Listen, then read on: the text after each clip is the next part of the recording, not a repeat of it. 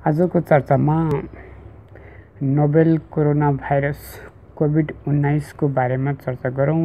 जुन चर्चा अघिल्ला चर्चाहरूकै श्रृङ्खला हो। आज हामी यो भाइरस हाम्रो समक्ष आएको पनि चार छ महिना गुजारिसकेका छौँ र यसको समीक्षा जरुरी छ। हामीले यो चार छ महिनामा जे गऱ्यौँ र हाम्रो हाम्रो देशको हाम्रो सामिप्यमा आएर यसले जे गर्यो र हाम्रो जस्तो जे देशले जे गर्नुपर्ने थियो योभन्दा पनि पुरा मानव जातिलाई नै पुरा मानव जातिले नै के गर्नुपर्ने थियो? र पुरा मानव जातिले यो चार छ महिनामा जे गर्यो यसमाथि समीक्षा गरौँ। पहिला त यो भाइरससँग हामी कि जुझ्नु छ कि भाग्नु छ कि यसबाट बच्नु छ कि योसँग लड्नु छ। अब यसलाई हर व्यक्तिले स्वीकार्नु पर्नेछ अब यो राज्य राजनीति र विज्ञानको माहौलबाट यसलाई खोज्नु पर्नेछ यसलाई खोसेर व्यक्तिले आफैले यसको जिम्मेवारी त नलिँदासम्म हामी यो यो चार छ महिनामा जे गऱ्यौँ फेरि यस्तै र यसको दूर समय जहाँसम्म पनि जान सक्छ। फेरि विज्ञानको आशा त्यो भ्याक्सिनको। राजनीतिले त जे गर्नुपर्ने हो त्यो हामीले देखिसक्यौँ। अब त्यो विज्ञानको त्यो भ्याक्सिनको आशा त्यो भ्याक्सिन हतियार नआउँदासम्म त हामी लड्नु नै छ। फेरि त्यो हतियारले पनि कतिसम्म काम गर्छ त्यो पनि हेर्नु छ। त हतियार नहो त्यो। अब अहिलेको वास्तविकता राजनीतिले जुन जिम्मेवारी लिएर जे गर्यो र यसमा पुरा मानव जाति र मानव जाति आजसम्म गुज्रेर आएको सभ्यता जसरी भत्ताभुङ्ग भयो अब फेरि यस्तै भाइरस अरू पनि आउन सक्छ यो मात्र होइन फेरि त्यो आयो भने। अब हामीले धेरै गर्नु छ धेरै सोच्नु छ। पहिला त हामीले यो जिम्मेवारी व्यक्तिमा लिउँ यो भाइरसको कारणसम्म जाउँ हर व्यक्ति यो भाइरसको कारणसम्म जाउँ। त्यो कारण यो भाइरस यो स्वाभाविक रूपको होस् या मानवले हतियारको रूपमा अपनाएको यो जेसुकै होस् यो भाइरसको रूप त हो। फेरि यस्तो भाइरस जुन पनि बन्न सक्छ। फेरि यो भाइरस बन्नुको कारण हाम्रो नै गल्ती त हो। त्यो हतियारको रूपमा उत्पादन गर्ने मानिस पनि यही सभ्यताको हाम्रो नै चेतना भएको मानिस हो। त हामीले अब मानवको चेतनालाई परिवर्तन गर्नुपर्नेछ। अब यहाँ दोष होइन दोष हतियारको होस् या यो प्रकृतिबाट नै आएको होस् यसमा हामी अल्झनु हुन्न यो दोषारोपणमा अल्झिनुहुन्न हामीले भाइरसलाई शुद्ध भाइरसकै रूपमा लिउँ त्यो सत्य त थाहा भइहाल्नेछ त्यो हतियार थियो या स्वाभाविक रूपमा आएको हो हाम्रो नै भुलले। स्वाभाविक रूपमा आएको भए पनि त्यहाँ हाम्रो हाम्रो नै भुल्ने त हो। हामीले जुन प्रकृतिलाई चरम दोहन र यसको गलत उपयोग गर्दै थियौँ त्यो मांसाहारको रूपले होस् या जुनसुकै रूपले। जसरी हामीले यसलाई भोग्यौँ यहीबाट यही भुलबाट आएको हो त अब हामीले त्यो जिम्मेवारी प्रत्येक व्यक्तिले लिनु पर्यो। र यसको जवाफदेही आफू बन्नु पर्यो विज्ञान र राजनीतिबाट अहिले जिम्मेवारी खोज्नु पर्यो। हर व्यक्तिले खोज्नु पर्यो। अब यसो गर्दा अहिले तत्काललाई त कि योसँग लड्नु कि योसँग भाग्नु? अब यो जेसुकै गर जो योसँग लड्नेछौ उसको महानता त अवश्य रहनेछ।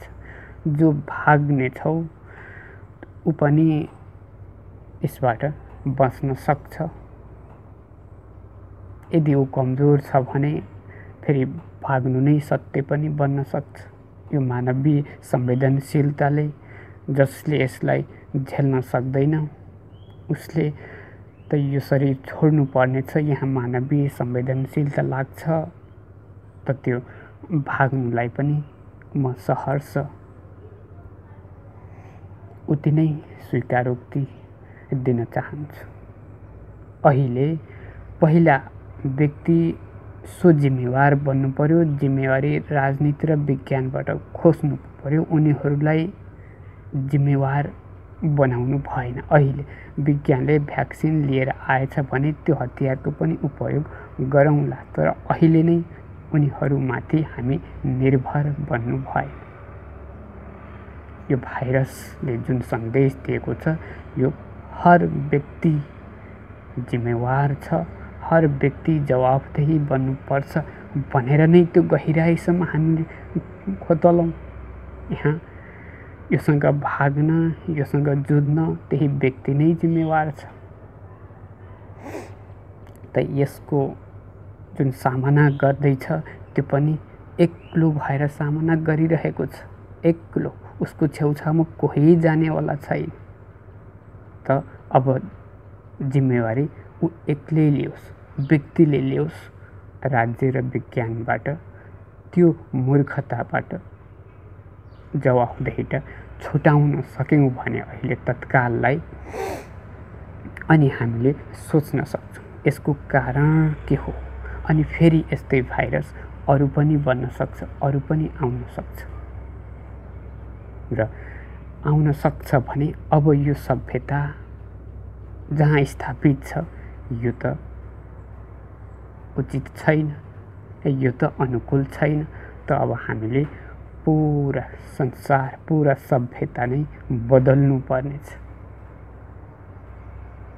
अब यो भाइरसले जुन सन्देश दिएको छ यही आधारमा हामीले अब नयाँ सभ्यता अब नयाँ युग अब हामीले अब स्वर्गको राज्य अब आदर्श राज्य अब प्रकृतिको सामिप्यतामा त्यो बलसहित यहाँ अहिले यो भाइरससँग लड्नको लागि एउटै बल छ।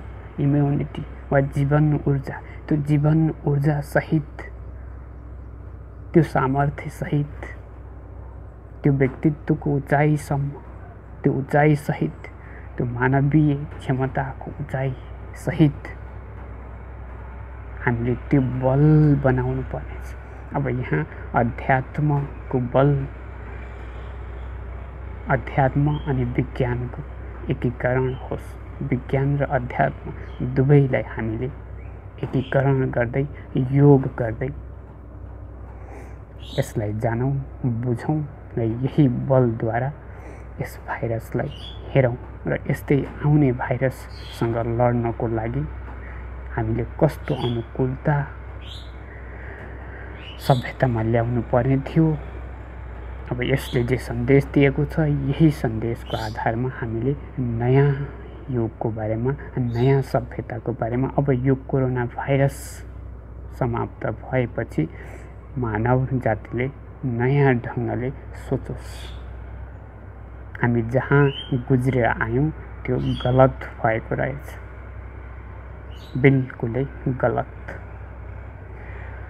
त यहाँ अध्यात्म पनि जाग्नेछ। विज्ञानको अपाङ्गता पनि सपाङ्ग बन्नेछ। यहाँ अध्यात्म र विज्ञान दुवै अपाङ्ग भएर लागेका कारण यस्तो भएको दुवै सपाङ्ग बन्नेछौँ दुवै योग हुनेछ दुवैको एकीकरण गर्नेछौँ।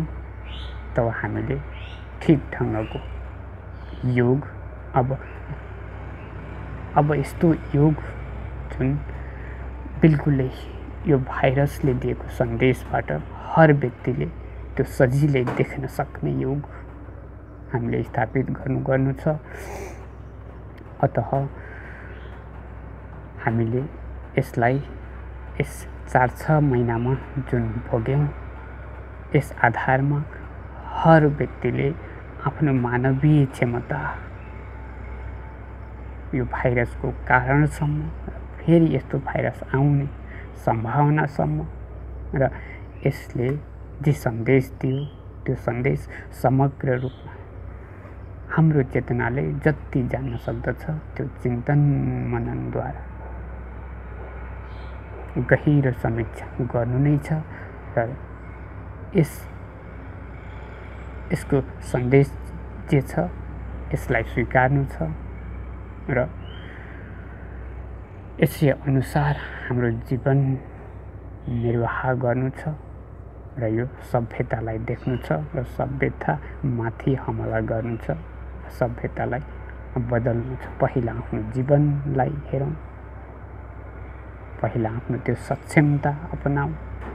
एक्लो जिम्मेवारी लिउँ व्यक्तिगत रूपमा जिम्मेवारी लिउँ यो। हामी भिडबाट राज्यबाट विज्ञानबाट जुन यान्त्रिक रूपले सञ्चालन भएका थियौँ जुन संस्कारबाट अब त्यो हल हुनु पर्ने रहेछ। अब त्यो काम आउँदो रहेनछ। अब हामीलाई थाहा भयो अब वैयक्तिक उचाइ के हो? त्यहाँसम्म गएर त्यही उचाइ अनुसारको व्यवहारिकता। अब यसको लागि हर व्यक्तिले नयाँ ढङ्गले सोच्न सकोस्। आजको को यति नै